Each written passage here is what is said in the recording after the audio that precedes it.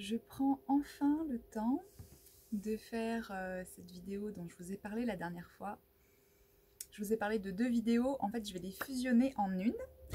je ne vais en faire qu'une qui servira les deux, euh, les deux thèmes que j'avais à aborder. Alors, euh, je suis en communication intense, non plus avec euh, mes guides comme je pouvais l'être avant. J'étais beaucoup guidée par des guides extérieurs à moi et en fait de, de façon plus euh, spontanée et euh, beaucoup plus souvent en ce moment. C'est moi en fait, c'est moi qui m'auto-guide, c'est-à-dire que je me connecte à mon moi supérieur et euh, c'est de là que me viennent les infos. Donc, euh, ce que je vais vous transmettre maintenant euh, vient de moi à un autre niveau de conscience que celui avec lequel vous me voyez maintenant. Un niveau de conscience qui fusionne avec la source.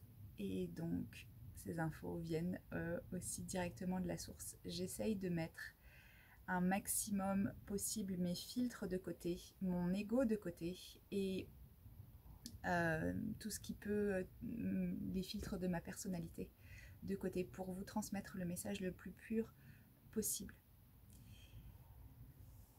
Hum, ce message est venu à un moment où j'étais en train de recevoir euh, une partie de ma médecine et euh, il m'a paru assez euh, évident que ce message ne s'adressait pas qu'à moi. Et je me suis montré les câbles Internet et les réseaux Internet par lesquels cette information doit circuler. Alors, vu que ça doit circuler par Internet et que c'est un message, j'ai choisi comme média bah, la vidéo et YouTube. Donc voilà, ça va passer par YouTube. Euh, un message qui n'a rien à voir et qui évidemment ne va pas parler à tout le monde, mais c'est pas grave parce qu'il est adressé euh, qu'aux personnes qui sont capables de comprendre ce que je dis. Euh, et ce que je dis avec ma voix ici et ce que je dis aussi à d'autres niveaux. Donc aujourd'hui je vous parle du Ragnarok c'est venu à moi sous forme de Ragnarok. Alors du coup voilà, ça oui, ça a utilisé un filtre parce qu'il faut bien mettre des mots dessus. Et donc euh, ça a été assez euh, euh, teinté de d'influence de, la culture celto-viking. Donc voilà, le Ragnarok, c'est la fin du monde. Sachant que euh, cette fin n'est pas une fin vu que le temps n'existe pas et que tout est cyclique euh, et superposé. Donc euh, c'est la fin d'un monde avant l'émergence d'un nouvel âge d'or. Il y a eu dans l'histoire de l'humanité plusieurs âges d'or et plusieurs Ragnarok, Armageddon, Apocalypse, voilà, on peut les appeler euh, selon, euh, selon les cas, on appelle ces grandes guerres de fin du monde et ces cataclysmes sous différents noms. Et, voilà, je, veux amener de la lumière en fait sur, sur ça. Parce que effectivement, le Ragnarok est à la porte, est à nos portes. Les dieux sont prêts, les Valkyries, les guerrières au bouclier et les guerrières au serpent, sont prêtes également. Euh, l'assaut final, l'assaut final arrive.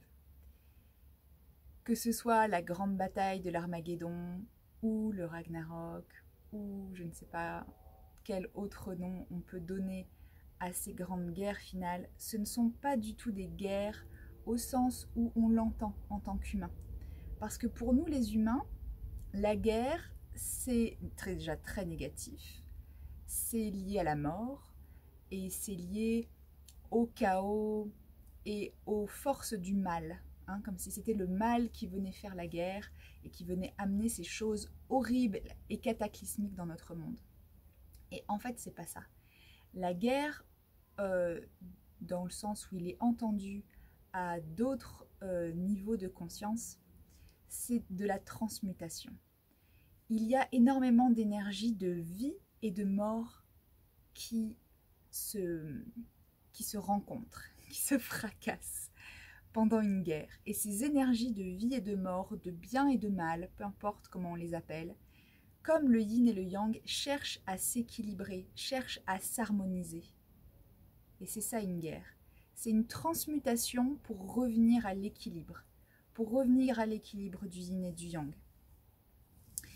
Euh, donc c'est plutôt comme ça qu'on peut le voir, pas avec le Ah mon Dieu, ça va être la guerre, ou c'est déjà la guerre et c'est terrible, mais plutôt d'accord, on est en train de transmuter, on est à une époque d'apogée du mal, parce qu'on est encore, on est, on vit ici sur Gaïa en dimension 3 pour encore un peu de temps, euh, dans un monde de duel.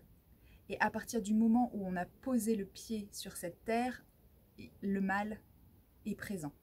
Et le bien aussi. La dualité est présente. Et cette dualité euh, s'est exprimée aujourd'hui. Voilà, on a choisi d'expérimenter collectivement euh, le mal, euh, plus plus sous des formes diverses et variées. Et cette, ce, ce, mal est aujourd'hui donc à son apogée. Et donc le Ragnarok arrive pour transmuter.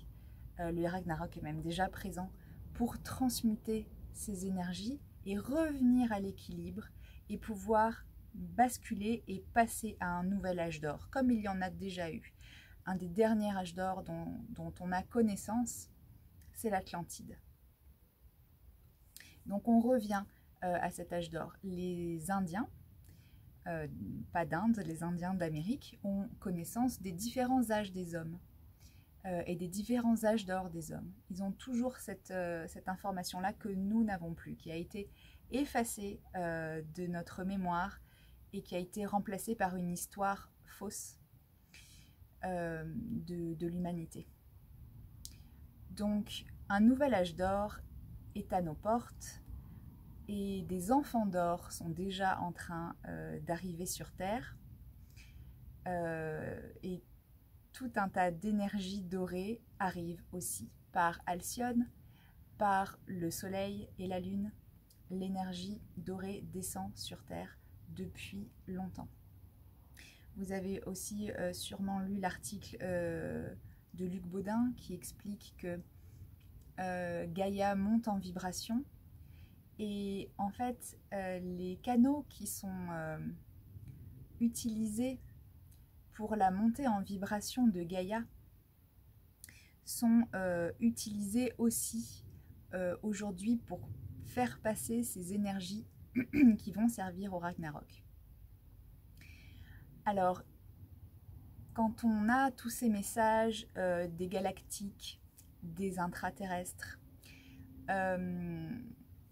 de voilà des dieux et des valkyries du Ragnarok qui disent nous sommes là, nous vous soutenons.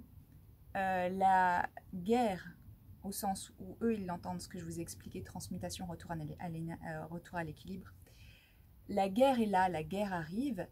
Euh, ça ne veut pas dire qu'ils vont débarquer sur Gaïa avec euh, leurs vaisseaux, leurs navettes spatiales et les guerrières au bouclier qui vont être là sur leurs chevaux et, et les dieux de l'Olympe qui vont descendre. C'est pas ça. Euh, c'est pas ça qui va se passer. C'est quand ils font descendre ces énergies-là à travers les guerriers pacifiques, à travers les encres humaines que nous sommes. Il y a euh, parmi nous, euh, sûrement si vous regardez jusque-là, c'est potentiellement que vous êtes un gardien de la Terre, peut-être un dragon incarné, ou peut-être un, descendant de la lignée du Graal de sang, et que vous savez que c'est votre place de descendre, de faire descendre ces énergies et de tenir euh, ces, énergies qui descendent. En tout cas, euh, que vous le soyez ou pas, pour l'instant, sachez, juste que euh, ces énergies descendent à travers nous et descendent aussi à travers une grille, à travers des grilles énergétiques qui sont tout autour de Gaïa. Et vous savez qu'au centre de Gaïa, il y a un taurus, il y a une tor. donc, comme à l'intérieur de nous, il y a aussi une tor, comme il y a à l'intérieur de chacune de nos cellules, il y a une tor. Et en fait, cette tor est utilisée pour faire circuler euh, ces énergies-là et euh, toutes ces énergies qui font monter la planète en vibration et ces énergies qui aident à la transmutation et qui aident au retour à l'équilibre. Et ces énergies passent par nous et passent aussi par les quatre éléments. Par l'eau, donc toutes les résurgences d'eau, hein, ça, va, ça va aller euh, donc autour de Gaïa, nous on peut se brancher dessus et par le système, par le torus qui passe donc au centre de la Terre, euh, ça va informer l'eau et les résurgences d'eau, donc toutes les sources euh, qui vont après jusque dans l'océan, qui vont informer toute l'eau, mais aussi la lave. Et euh, on voit aussi en ce moment pas mal d'éruptions volcaniques partout, qui sont d'une partie le cri de Gaïa qui est en train de mettre au monde le phénix, mais aussi euh, ces énergies-là qui, qui passent par les résurgences de lave. Les quatre éléments, la terre, l'air, l'eau et le feu, sont impactés et portent ces énergies auxquelles on peut se connecter en se connectant aussi aux éléments.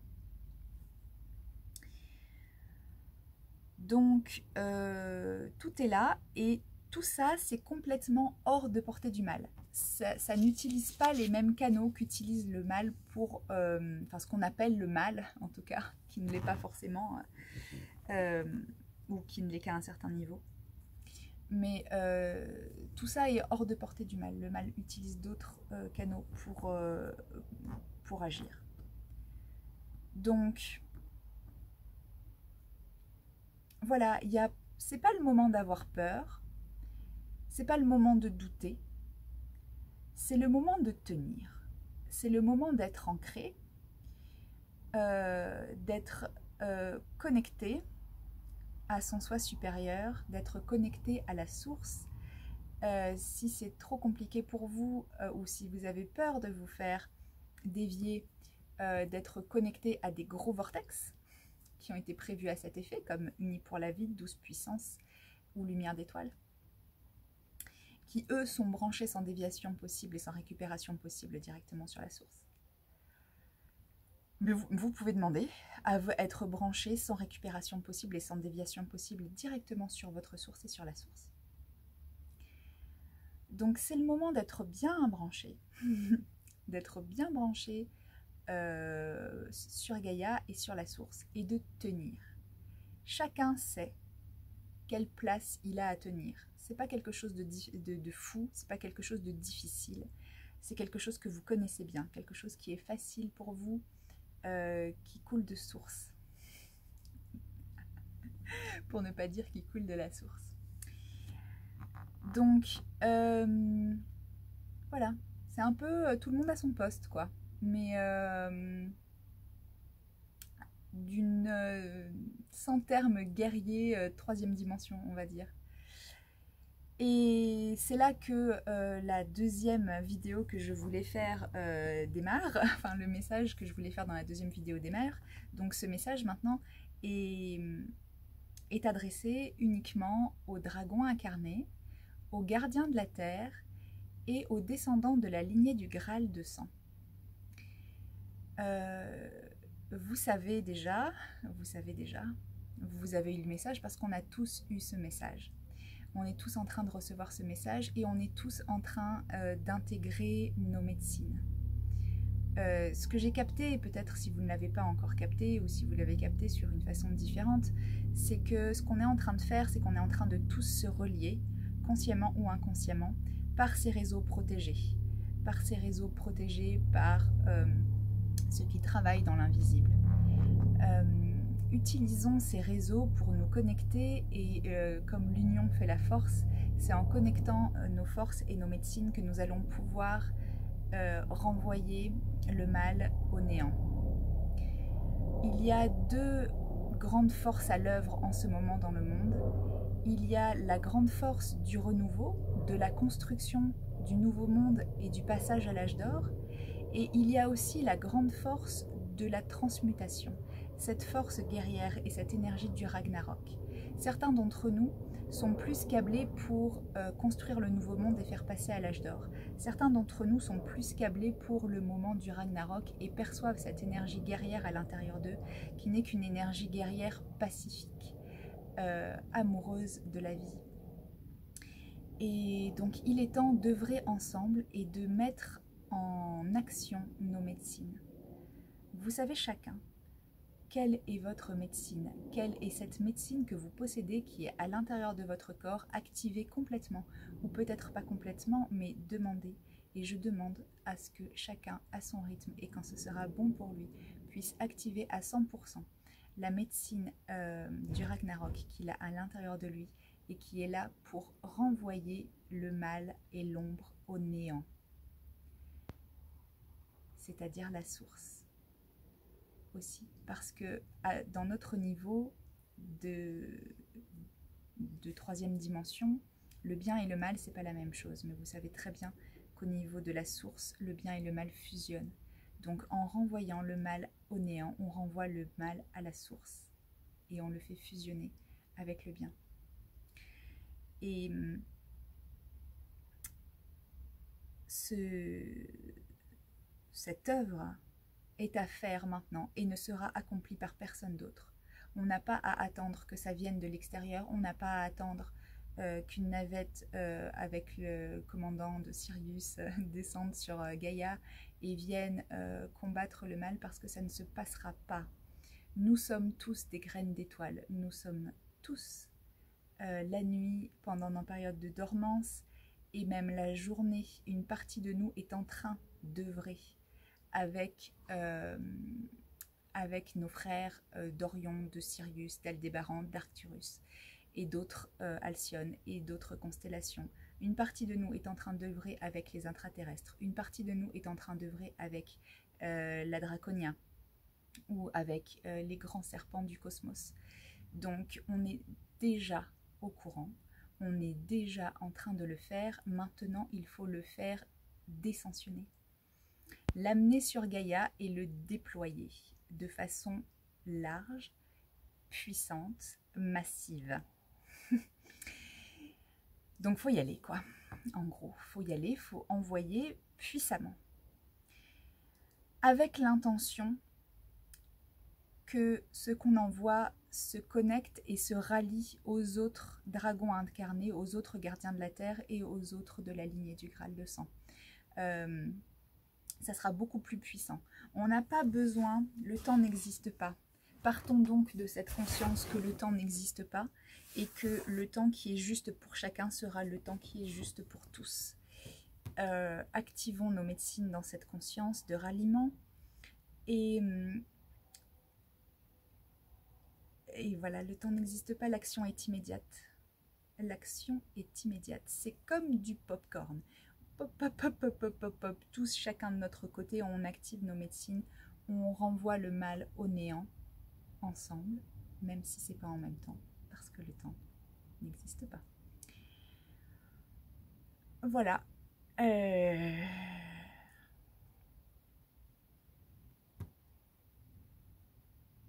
oui, là où tout fusionne. Envoyons l'ombre. Hmm. Tout le soutien est apporté déjà euh, depuis les autres plans. Mais c'est à nous euh, d'agir. quand, quand je, lis ou que j'entends des, canalisations de certains de mes confrères euh, médiums qui disent oui, les vaisseaux sont autour de Gaïa et ils vont bientôt arriver, on est là quoi. Je veux dire, ça passe par nous. On a choisi de s'incarner maintenant on n'a pas envoyé, on va pas envoyer des Syriusiens dans leur forme syriusienne sur Gaïa. On envoie des dragons sous une forme humaine euh, sur Gaïa. On envoie des Syriusiens sous une forme humaine sur Gaïa.